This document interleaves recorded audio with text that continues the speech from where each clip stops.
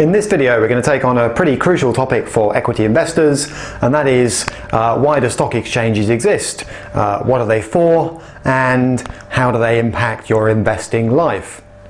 Okay, very simple example. Um, imagine if you will, uh, you've got a big block of shares to sell this morning. So maybe you're at 100,000 shares. Now you might say that's an artificially large amount. There are people out there who trade that kind of volume in companies day in, day out. You're thinking, right, I'd like to dump 100,000 shares. How am I going to do it? Now, it might just be you know someone who wants 100,000 shares, in which case I suppose you could go and haggle with them, agree a price, and get on with the trade.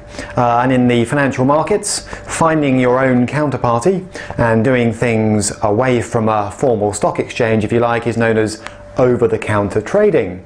And it's still perfectly possible.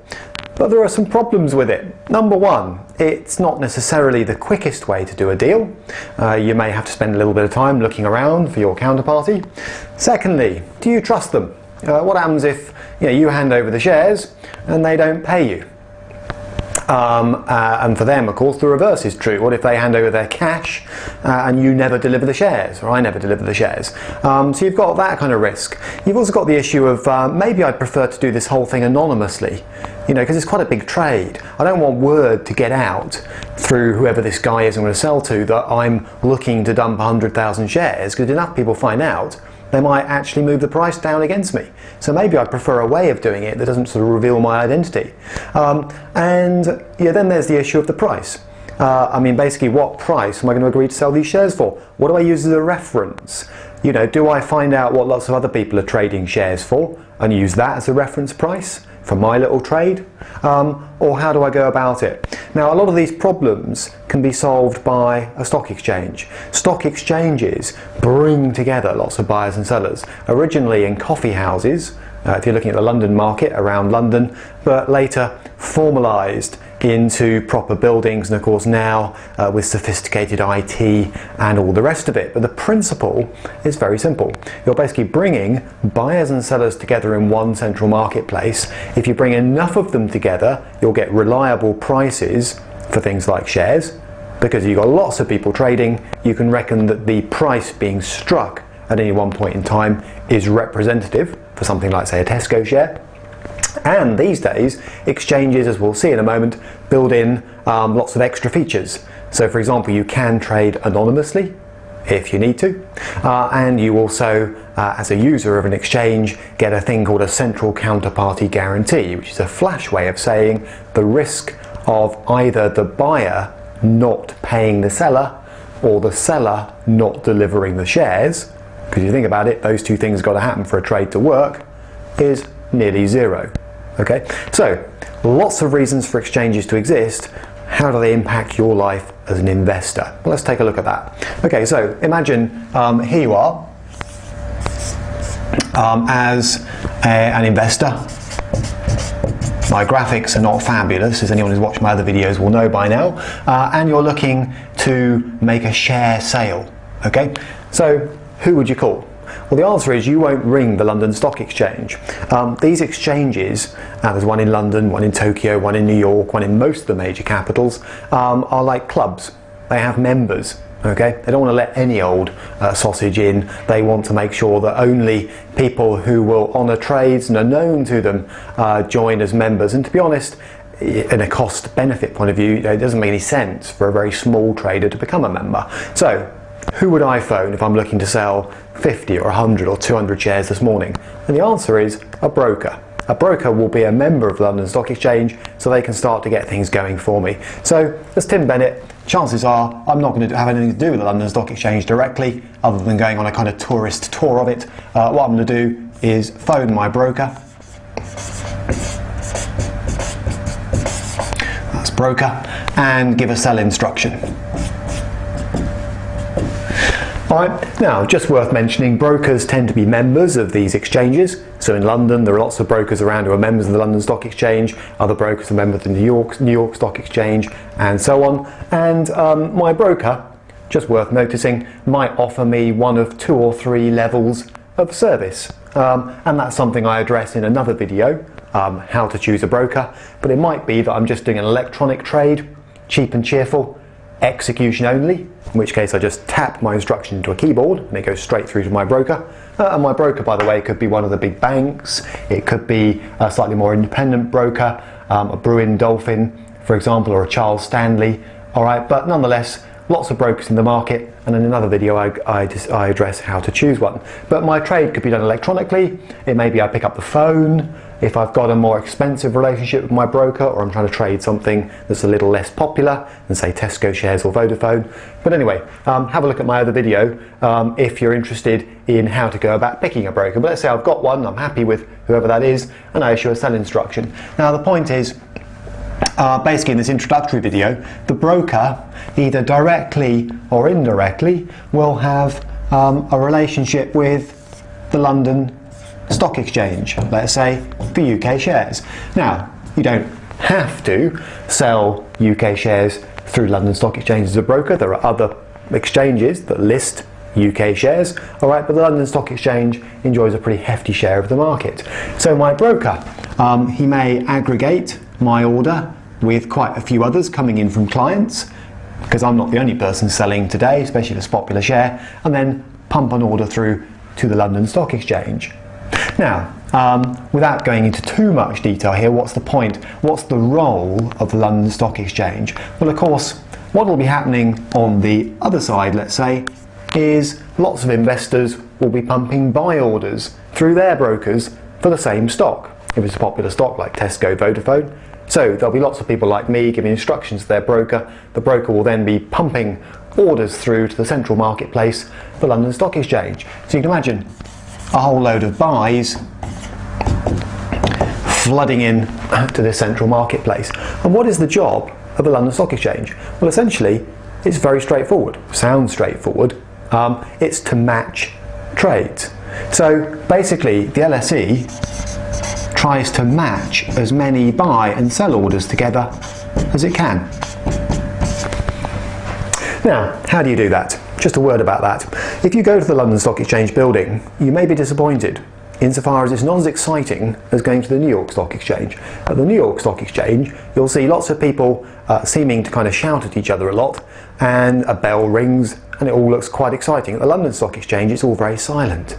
There are not many people around in reception, and frankly, everything seems quite quiet and under control, despite the fact there are millions of trades happening um, as you know, as the day goes on.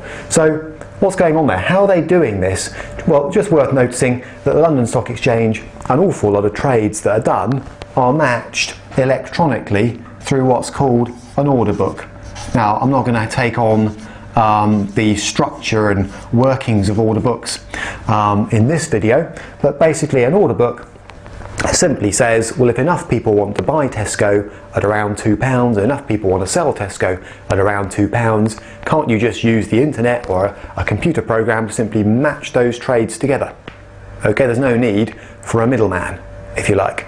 Um, however, it is possible on exchanges to still have deals done through um, what in the London market are known as market makers. Right, now market makers uh, won't thank me for this comparison, but they operate a little bit like second-hand car dealers, if you like.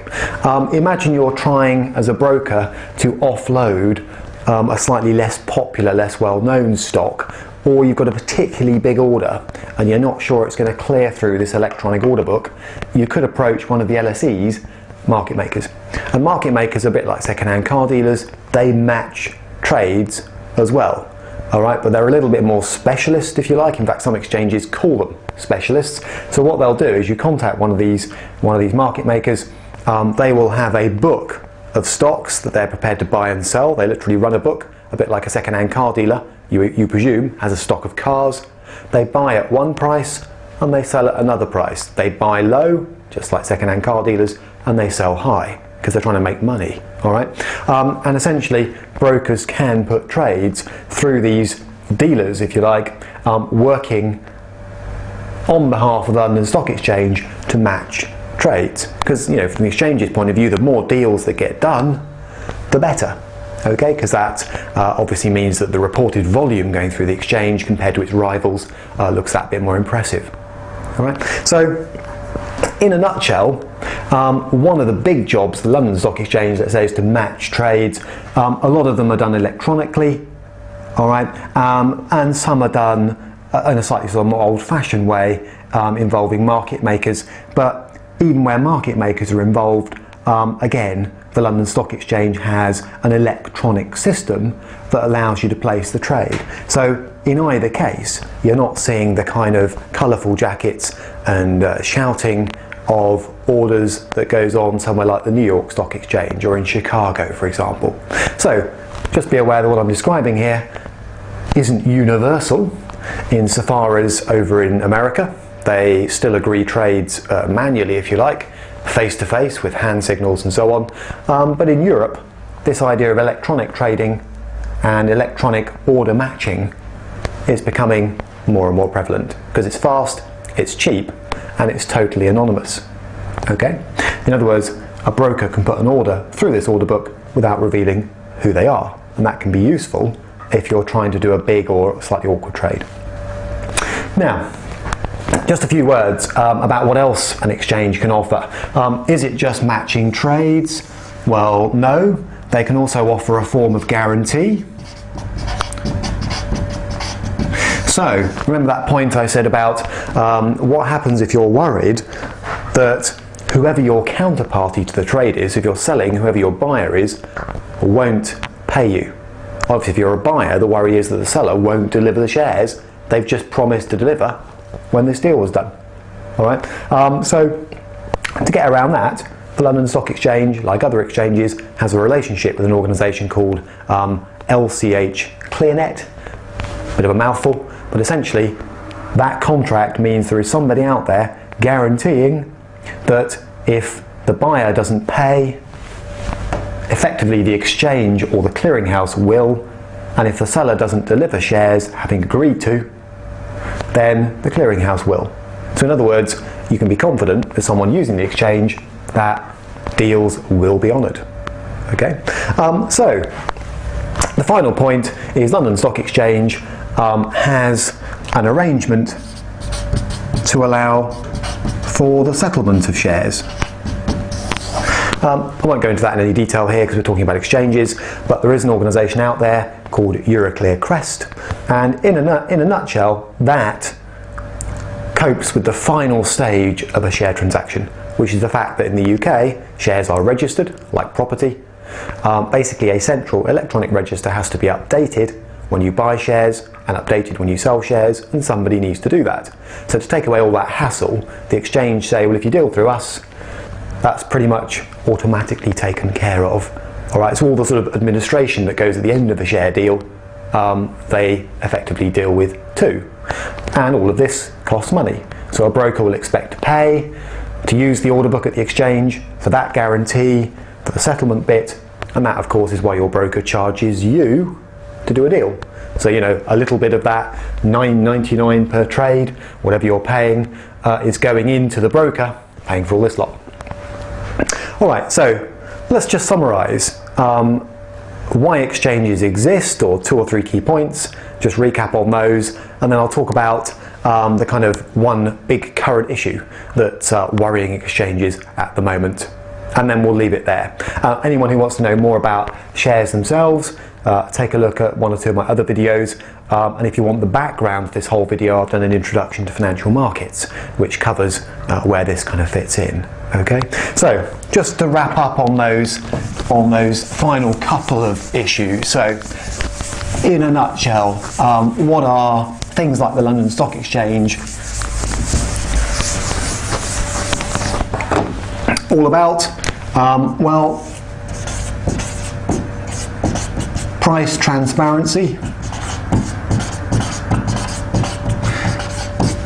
In other words, um, if I'm planning to buy or sell shares, looking up a price at the London Stock Exchange, by the way, the prices are quoted daily, so the closing price at the exchange around uh, 4.30 in the evening, slightly nearer 5 o'clock, being, being technical about it, um, is published, so people use that. Um, fund managers, for example, want to know at the end of the day what the closing price for say Tesco or Vodafone was so they can value their portfolios accordingly. So exchanges are a useful reference point both for the price that people want to do a deal at, and also the price that uh, you know, fund managers and investors will, as they call it, mark their portfolios to market at the end of the day. So lots of price information from exchanges, which is very useful, uh, and also information about how many deals are getting done and all the rest of it. Uh, number two, they can provide the anonymity that some of the bigger players in the market like.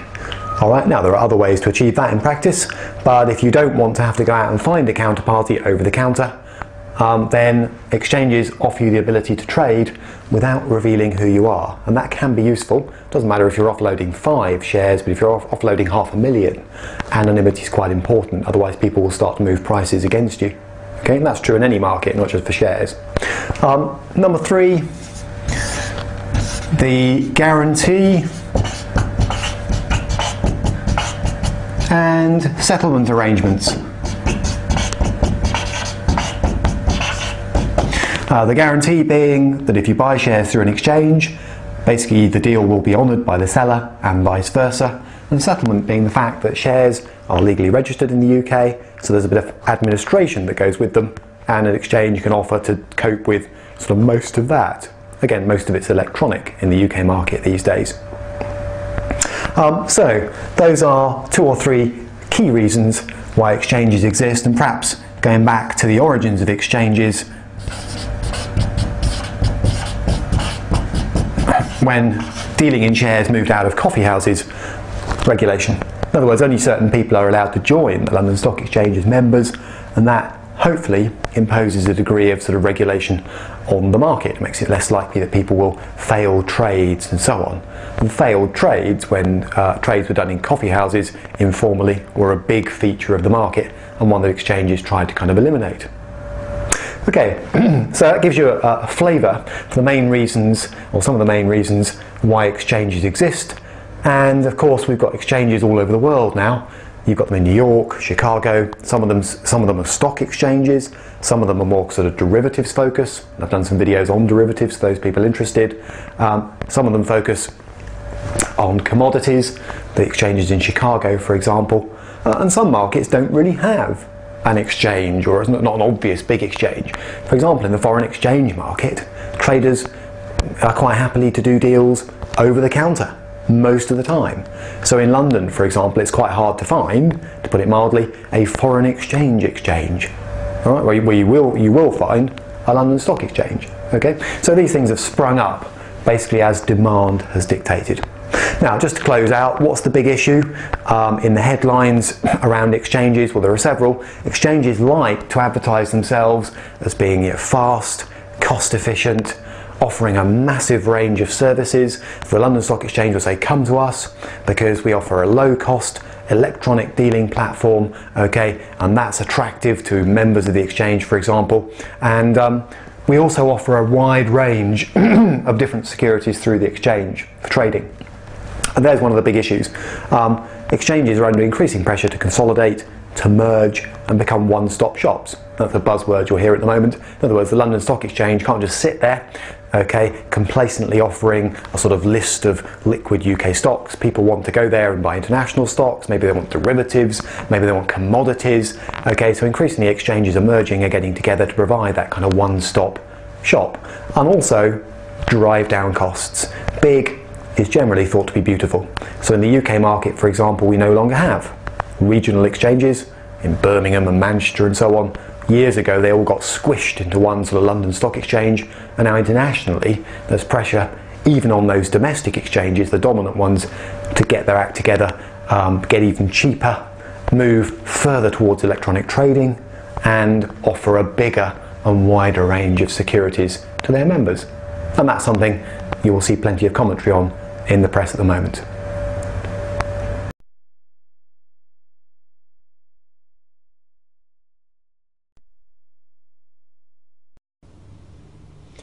This video is going to talk about investment banks. They've been in the press a lot recently. There's uh, talk about banking bonuses, how big they should be, how do they afford them.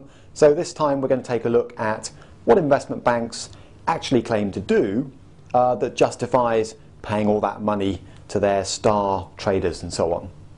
Okay, so where do investment banks fit in? Well, these days it's relatively uncommon to have an organisation that is purely an investment bank. There are some around, but many are bolted on the side of retail banks. So when you look at an organisation such as Barclays, you're actually looking at a global organisation that comprises a number of different divisions. So what you can do quite often is take a bank and in very simple terms split it down into two basic functions. And there's been a lot of talk in the media recently about whether banks should do both of these functions. There's retail banking and there's investment banking.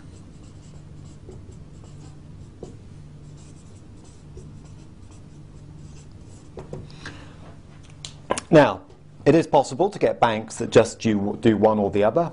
Uh, Goldman Sachs is largely an investment bank, as is JP Morgan, but the likes of Barclays, HSBC actually do both. They didn't always, but uh, these days they do both. So, first of all, before we look at this one, what's the difference? Well, retail banking is the bread and butter of banking in many ways.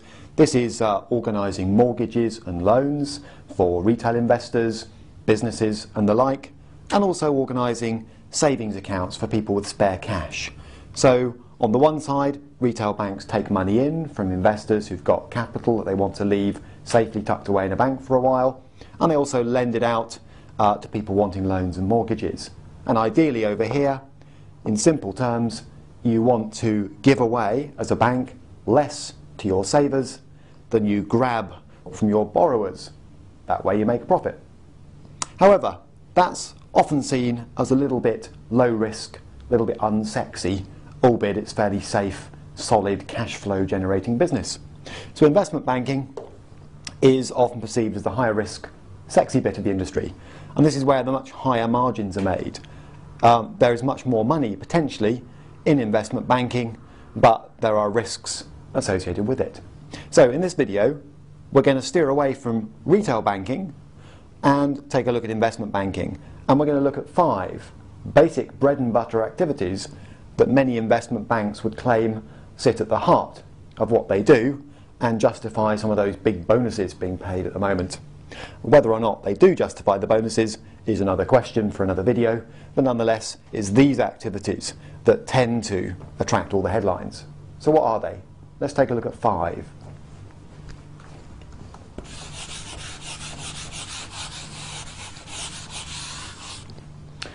So, in investment banking, and that's where we're going to focus right now, we'll leave retail banking to one side. Uh, activity number one prop or proprietary trading.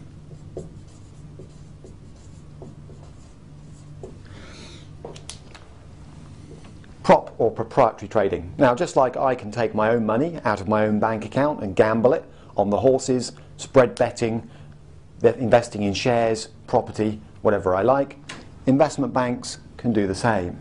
They have their own funds. They also raise money from investors, of course, but they have their own funds, and those can be gambled, often in spectacular amounts, to make the bank money.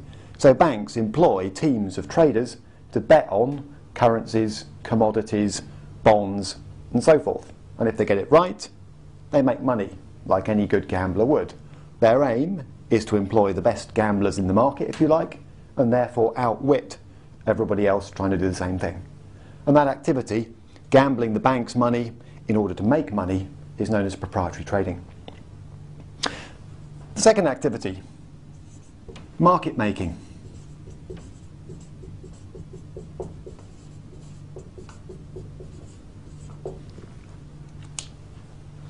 As a retail investor, or as any investor, if you want to go out and buy Tesco shares, for example, you need a market. And that market is provided by organisations such as the London Stock Exchange. But a market needs buyers and sellers, otherwise it doesn't work.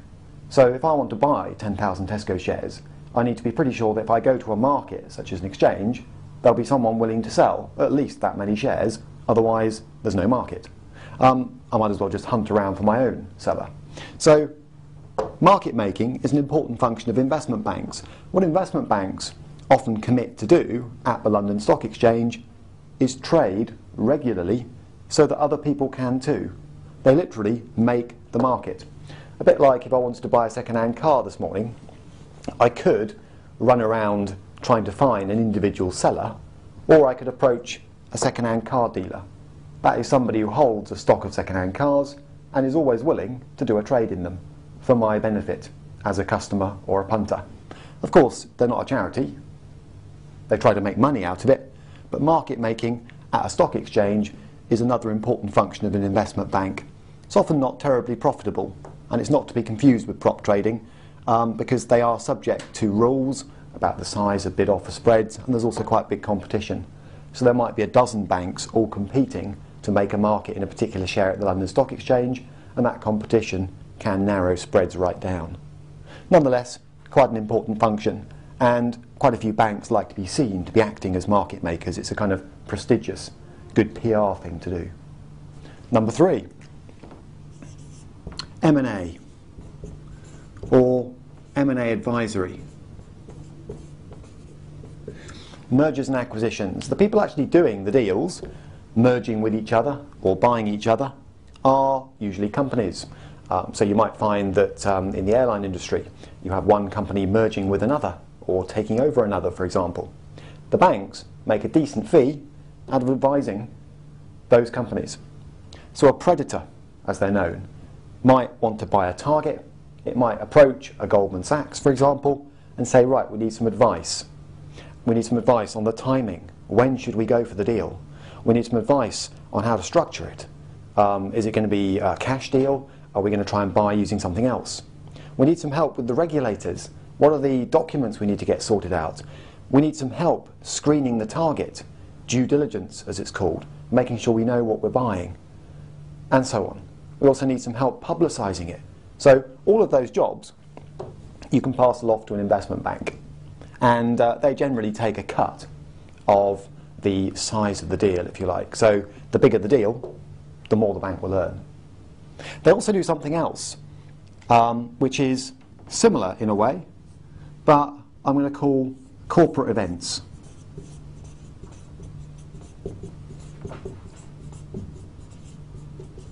Uh, in particular new issues.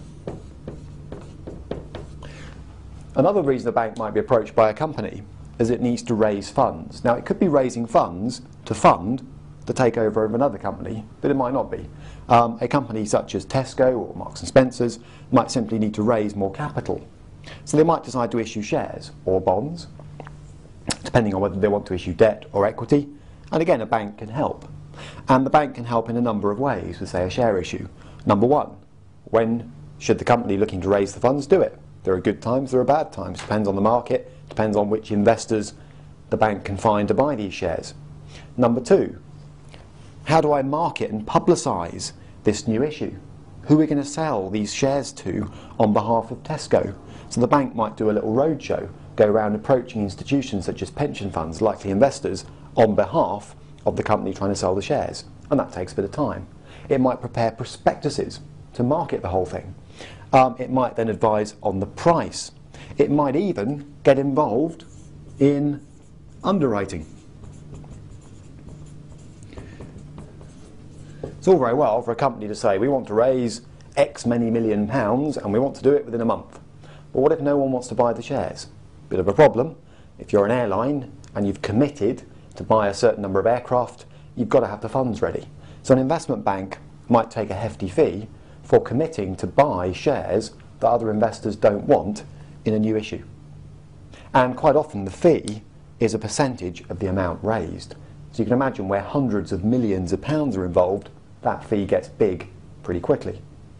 So these two things, often an advisory role, but the underwriting element brings some risk to the investment bank, hence, in theory, the big fees that they charge. And then another big area is structuring products. Again, it's a sort of advisory role. Um, here, you get clients of the investment bank, institutional, or even retail, represented by, for example, another bank, coming along and saying, we need a product. We want to sell something to the public or to institutions that does a particular job, and they'll bring in an investment bank to help them design it. So, for example, you may have come across those products at MoneyWeek, we're not desperately keen on them, called structured products that say things like, as an investor, give us your money for two years, In a worst case scenario, you get your money back in two years' time. In a best case, you get your money back and 80% of the rise in the FTSE 100 over the next two years. As an investor, you might think, well, that's good. Um, so the worst thing is I get my money back in two years, and I might get my money back plus 80% of the rise in the FTSE. Now, the bank that sells you that is selling you a structured product. They've had to put together two or three different securities to make that work. And that's something that investment banks get involved in too. And just in case you're thinking, what is wrong with that product? Have a think about it. If I say to you, in a worst case scenario, you'll get your money back in two years' time, that's not great. Because over the next two years, you could be earning interest on your cash for simply putting it in a bank account. So just getting it back in two years' time isn't fabulous. And if you think the FTSE is going to rise over the next two years, why on earth would you only want 80% of the gain in the FTSE when you might as well take 100%? Anyway, structured products have their fans. At MoneyWeek, we're often not amongst them, but nonetheless, investment banks are quite good at designing those products, whether ultimately the target is the retail market or the, the sort of institutional market that involves pension funds and life assurance companies. So, lots of different activities. Does it all justify the big bonuses? Frankly, very good question, which I won't attempt to address here. But nonetheless, investment banks would say these are risky activities that should command big fees to the people directly involved in them. And although investment banks do other things, and you won't always find all of them agreeing on the terminology I've used here, these are five of the biggest and most common ways that a lot of them try to make money.